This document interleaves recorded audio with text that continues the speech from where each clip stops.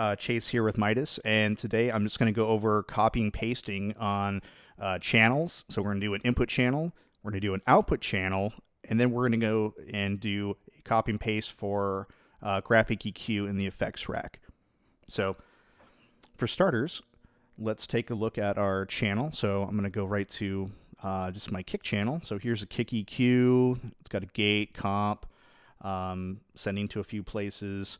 So what we want to do is just copy these parameters. So if I'm in multi-view or the home view, multi-view, and uh, you see these two squares here, this is your copy paste function.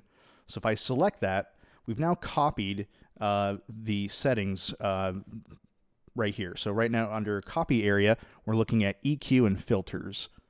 So for this, I actually want to bring everything. I want to copy the gate, the, the compressor, my configuration. I want it all to be copied with. So I'm just going to go ahead and hit copy all. And I'm just going to arbitrarily paste this to a channel that I'm not using. So let's just go to like channel 65. So right now, channel 1 is still selected, being yellow. I'm just going to go to channel 65 here. If I just select that, you'll see that paste is now selected. I'm just going to hit paste selected, and then I can press and hold to, to finish that patch.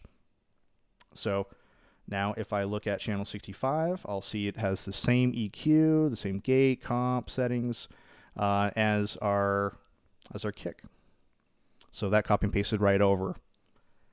Another thing we can do is, let's say for outputs, so we have a mix going to um, aux21. So I can go over here to contributors. So this is showing us all the channels that are feeding this aux21.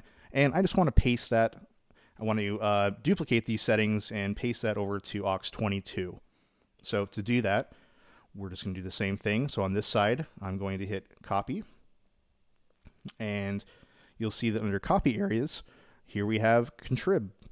So it's going to copy the channel contributions from one bus to the other. So right now, all I need to do then is just select the bus I want it to go to.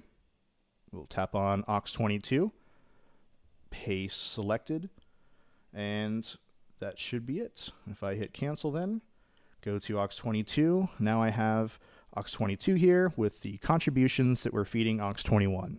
So we easily just copy that mix over to a new bus. And lastly, let's go over to the effects rack. And so right now have some stuff loaded in here, but I have this graphic EQ on bus 21.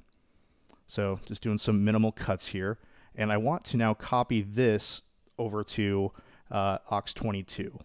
So the first thing I need to do is activate the graphic on aux22. So while I'm in the effects rack, I can just hit activate assignment type is going to be insert. Choose a channel. So we'll navigate to outputs. We'll choose aux22. Keep it mono. And then if I just press and hold to assign the insert, we've now inserted aux22 in the second instance of the same slot of slot 23. And now what I can do is I can select, excuse me, now I can turn on copy and paste I can select this side right here. And if I just now tap this side, I can do paste. And it's going to ask me in confirmation, you know, pasting this to the effects subslot will overwrite all current parameters and settings. Are you sure you want to do this? I do.